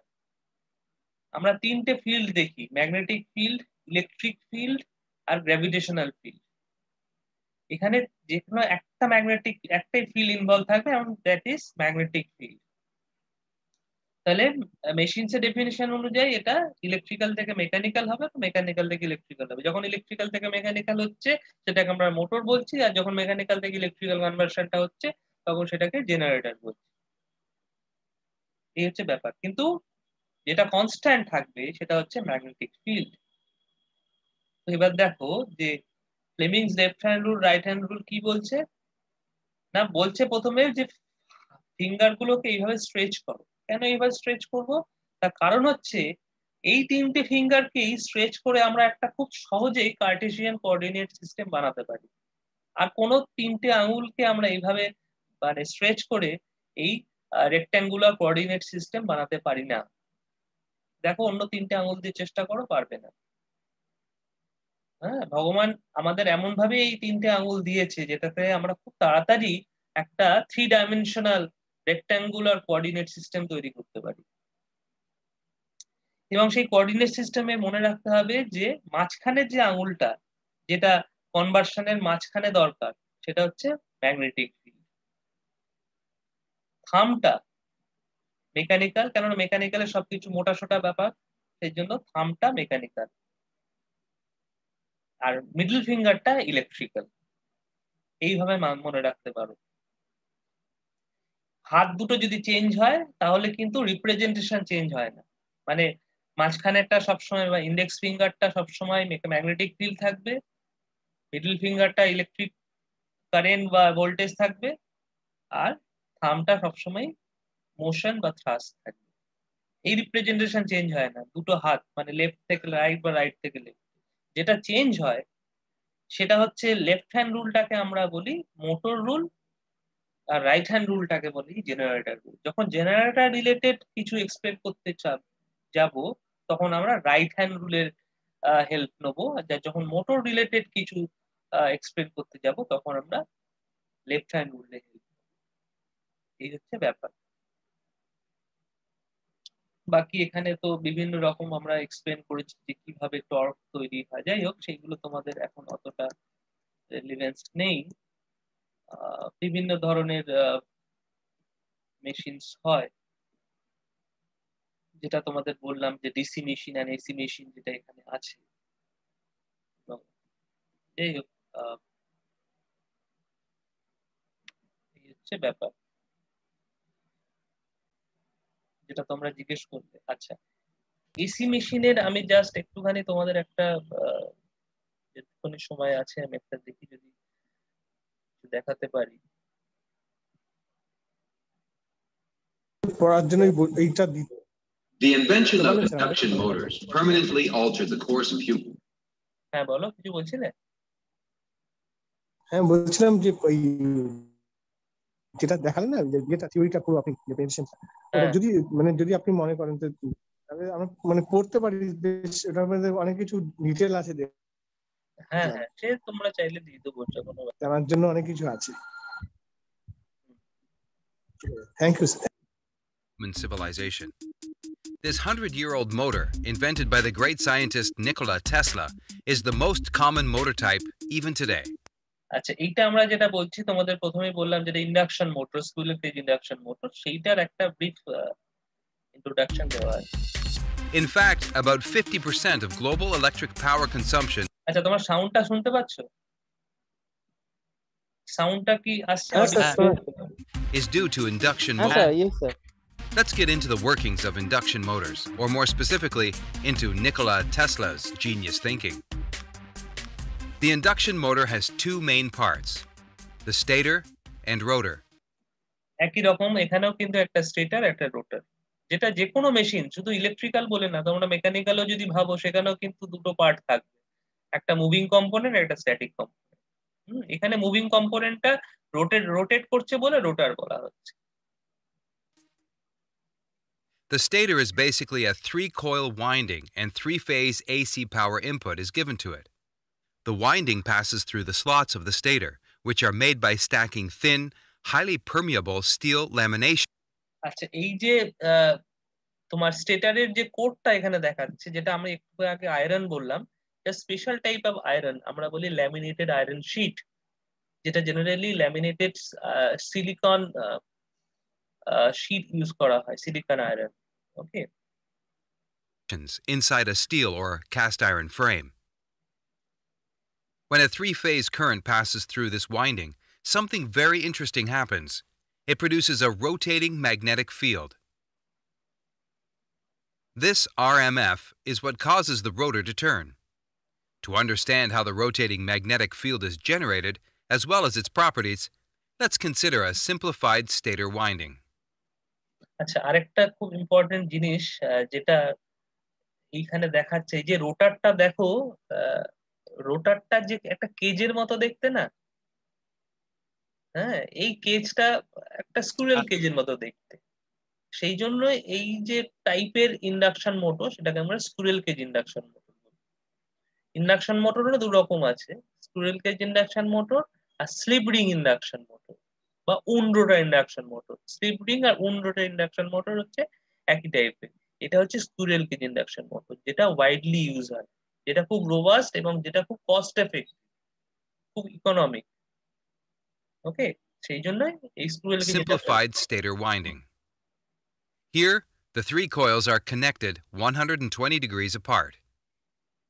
A wire carrying current produces a magnetic field around it. When a three phase power is applied to this special arrangement, the magnetic field produced will be as shown at a particular instant.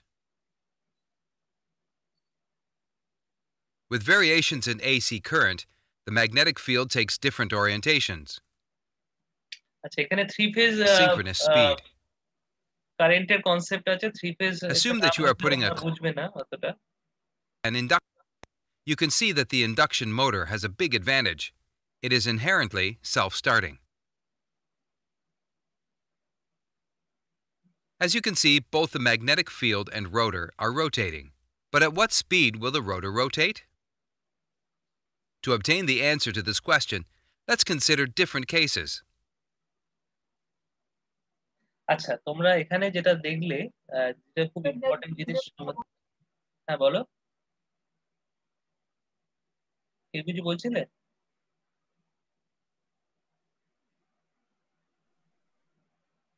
আমার sir একটা জিনিস জিজ্ঞাসা করার আছে।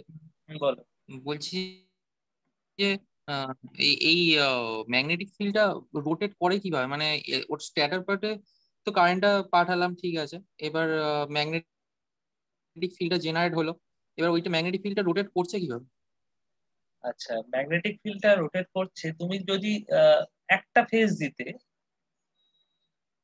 হ্যাঁ তুমি ধরো একটা একটা একটা ফেজ বলতে একটা ওয়াইন্ডিং তুমি একটা ওয়াইন্ডিং এ একটা মানে সিঙ্গেল ফেজ কারেন্ট পাঠিয়েছো। তাহলে কি করবে? ম্যাগনেটিক ফিল্ডটা অসিলেট করবে রোটেট করবে না। এবার তুমি কি করেছ? না, তিনটে কয়েল রেখেছো কীভাবে রেখেছো, না তিনটে কয়েলকে দেখো এখানে ওয়ান টোয়েন্টি ডিগ্রি অ্যাপার্ট মানে মেকানিক্যালি তারা ওয়ান টোয়েন্টি ডিগ্রি অ্যাপার্ট রয়েছে। তাদের মধ্যে স্পেস অ্যাঙ্গেল রয়েছে। এরকম ভাবে তিনটে ওয়াইন্ডিং কে রেখেছো। শুধু তাই নয়, সেই তিনটে ওয়াইন্ডিং এর মধ্যে যে তিনটে কারেন্ট পাঠাচ্ছ, সেই তিনটে কারেন্টের মধ্যে আবার one twenty degree time angle রয়েছে। মানে তিনটে কারেন্ট একই সাথে পিক রিচ করছে না।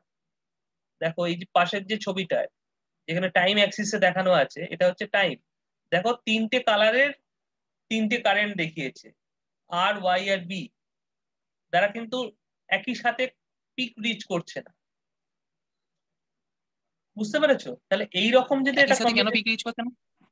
Three phase supply three phase supply মানে হচ্ছে তিনটে ফেজের ভোল্টেজ একই কিন্তু তাদের মধ্যে টাইম ল্যাগ আছে। তোমার বাড়িতে সিঙ্গেল ফেজ সাপ্লাই ঢুকেছে মানে একটা ফেজ একটা নিউট্রাল ঢুকেছে। কিন্তু ইন্ডাস্ট্রিয়াল কনজিউমার যারা, তাদের এখানে থ্রি যেখানে থ্রি ফেজ লাইন ঢুকেছে, সেখানে দেখবে তিনটে আলাদা কালারের তার থাকে। এবং সেই তিনটে আলাদা কালারের তারকে তুমি যদি অসিলোস্কোপে দেখো, তাহলে এই রকম একটা জিনিস দেখতে পাবে। যে তারা ভোল্টেজটা ওঠানামা করছে, কিন্তু একই সাথে ওঠানামা করছে না।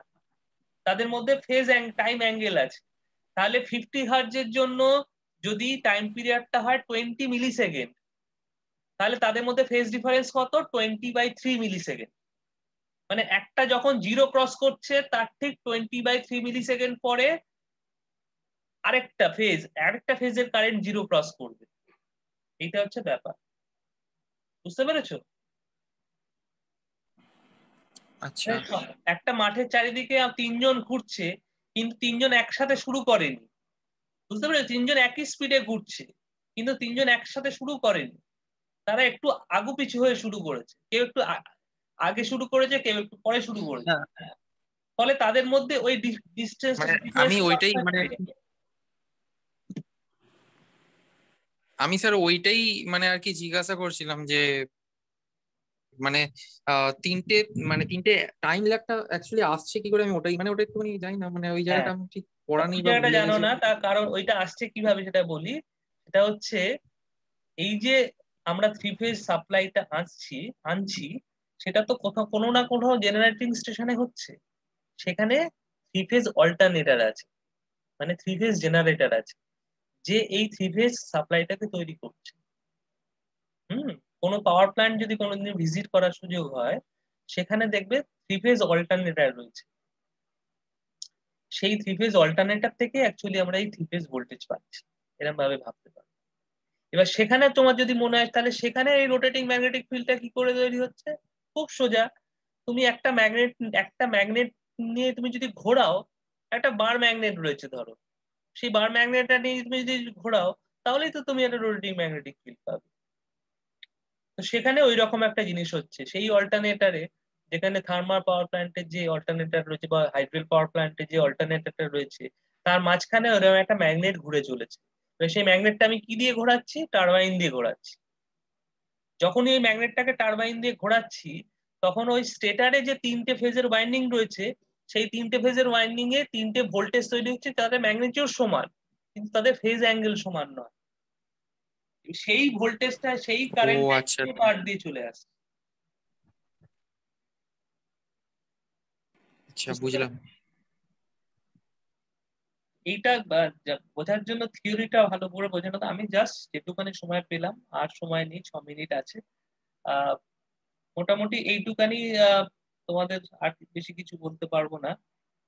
আহ, আরেকটা ব্যাপার হচ্ছে ইন্ডাকশন মোটরে যেটা হয় ইন্ডাকশন মোটরে কিন্তু আমাদের একটাই সাপ্লাই লাগে।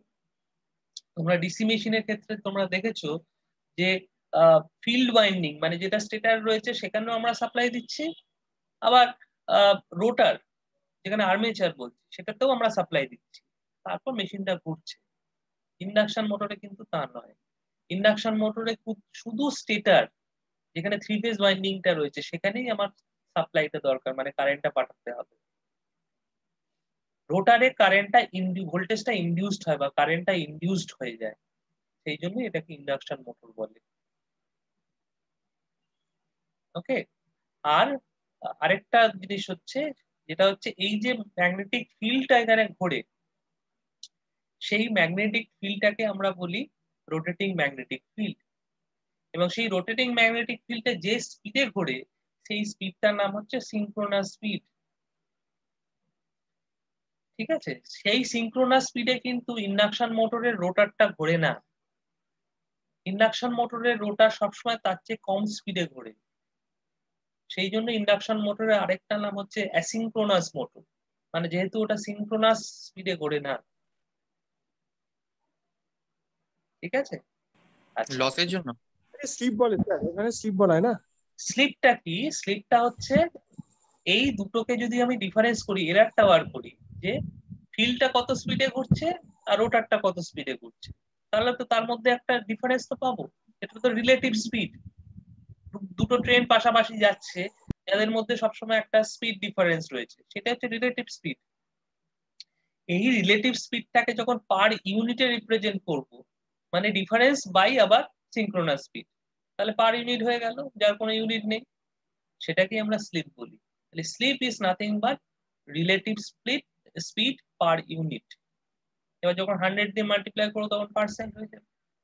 তাহলে সবসময় ওই একটা ডিফারেন্স থেকে ইন্ডাকশন মোটরের ক্ষেত্রে। যেটা থাকে না যে কারণে হ্যাঁ। বলো। এবার যত তুমি লোড দেবে মোটরের ক্ষেত্রে হ্যাঁ বলো। ফোর পোল মোটরের ক্ষেত্রে সিঙ্ক্রোনাস স্পিডটা ডিপেন্ড করে হচ্ছে একটা ফর্মুলা আছে one twenty F by P hmm? সেটা হচ্ছে সিঙ্ক্রোনাস স্পিডের ফর্মুলা মানে আমার যদি ফিফটি হার্ট সাপ্লাই থাকে বোর্ডটা দেখতে পাচ্ছ? হ্যাঁ। তাহলে এই যে সিঙ্ক্রোনাস স্পিডটা হচ্ছে one twenty into F by P এবার যদি ধরো পিটা হচ্ছে ফোর পোল মেশিন তাহলে এনএস টা হয়ে যাবে পনেরোশো আরপিএম এবার তোমার হ্যাঁ। তোমার যদি মনে হয় স্লিপটা যতখানি হ্যাঁ স্লিপটা হবে কত? স্লিপটা হবে point zero four point zero six এরকম রেঞ্জে হয়। মানে পয়েন্ট জিরো ফোর যদি হয় তাহলে এটা হয়ে যাবে four one four four zero RP actual rotor স্পিডটা হবে এনআর হ্যাঁ। যেটা সেটা হয়ে যাবে ফোরটিন ফোরটি আরপি এইরকম আর এরকম রেঞ্জে হয়। তাহলে তোমার মাথার উপর যেটা ঘুরছে সেইটা যদি তোমার জানতে হয় যে কত পোল কেননা ফ্রিকোয়েন্সি যে তুমি জানো এবার তুমি দেখলে যে এটা টু এইটটি আরপিএম এ ঘুরছে। ও চোদ্দশো চল্লিশ আরপিএম এ তো আর মাথার উপর ফ্যানটা ঘোরে না এটা খুব অল্প স্পিডে ঘুরছে। এবার তোমার মনে হচ্ছে যে এইটা তাহলে মেশিনে পোল কতগুলো রয়েছে? তাহলে তোমাকে এখানে এনএস এর জায়গায় টু এইটটিটা ইউজ করতে হবে। তাহলে এখানে আমি পোল বার করব। তাহলে এখান থেকে পোল কত বেরোবে? পোলটা নিশ্চয়ই ফ্র্যাকশনে বেরোবে তাই না? তাহলে one twenty into fifty by two eighty tachometer দিয়ে দেখলে যে ওটা টু এইটি তাহলে আমার আসছে কত? বলো। আচ্ছা টোয়েন্টি হয় না টোয়েন্টি ওয়ান তো পোল হতে পারে না। হ্যাঁ তাহলে কি হবে? এটা টোয়েন্টি হবে। তাহলে টোয়েন্টি পোলের মেশিন এবার টোয়েন্টি পোল দিয়ে এনএসটা বার করো কত হয়?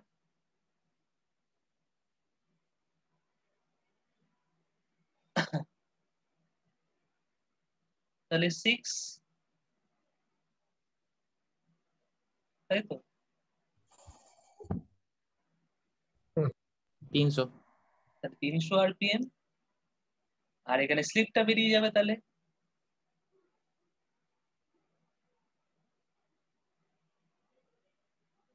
কত স্লিপে ঘুরছে? বোঝা গেল? তো এইভাবে আমরা ক্যালকুলেশন অনেক কিছু করতে পারি যেটা তোমরা হয়তো করবে ভবিষ্যতে। তাহলে এই যে মাথার উপর যে মেশিনটা ফর্মুলাটা ছিল হ্যাঁ বলো। না বলছি এই ফর্মুলাটা ওই টারবাইনের ক্যালকুলেশনের ওখানে ছিল। এই এনএসএস 128 হ্যাঁ টারবাইনে তো আর কোনো স্লিপ বলে ব্যাপার নেই। টারবাইনের ক্ষেত্রে ওটা তো সিঙ্ক্রোনাস মেশিন তাহলে ওটা সব সময় এই স্পিডে ঘুরতে হবে। চার পোল মেশিন হলে সেটা পনেরোশো আরপিএম এ ঘুরতে হবে। এবং পনেরোশো আরপিএম থেকে একটু এদিক ওদিক হলেই কিন্তু মেশিনটা মানে পুরো প্ল্যান্ট বন্ধ হয়ে যাবে। ভেরি রিস্কি পয়েন্ট সুতরাং সেখানে একটা স্পিড গভর্নার থাকে। যেটা সবসময় টারবাইনের স্পিডটাকে ওই একদম ওই স্পিডে পনেরোশো আরপিএম এ ফিক্সড রাখে। হুম? Different speed governing mechanism is there okay যাই হোক নটা বেজে গেছে এবার আমাদের শেষ করতে হবে তোমাদের যদি কিছু কোয়েশ্চেন থাকে কুইক করতে পারো otherwise will stop here